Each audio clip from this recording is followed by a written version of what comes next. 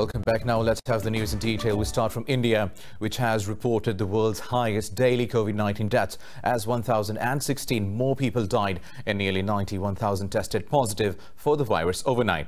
The coronavirus has infected over 27 million people, claiming more than 882,000 lives across the globe. Details in this report.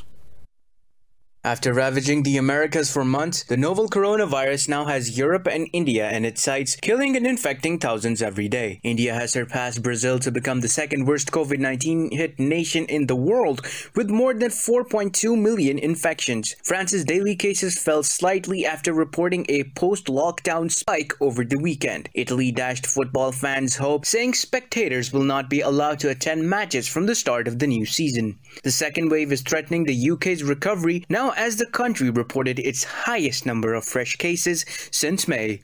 It's at the moment predominantly amongst younger people, but we know that that then leads to cases amongst older people because people inevitably can't help but pass the disease on to their, their family, their grandparents.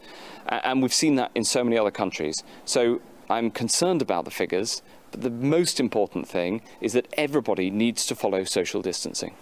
In Asia, mainland China has registered a 22nd consecutive day without local infections, but South Korea continues to struggle the community spread. Meanwhile, new cases in Australia's state of Victoria are declining after another spike amid stringent lockdown measures. We are sticking together, we are looking out for each other, uh, and we are having considerable success. And the best way to, to, I suppose, define that is that on the 5th of August, we had 725 cases.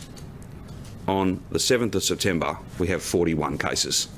These numbers are coming down. This strategy is working. We are bringing a sense of control to this and we will drive these numbers down further. In the Americas, the U.S. has reported rising cases in 22 of its states as the country celebrates its end of summer Labor Day weekend. Brazil has registered more than 14,500 infections and 447 deaths in a day. Mexico has recorded over 4,600 cases and 232 more deaths overnight.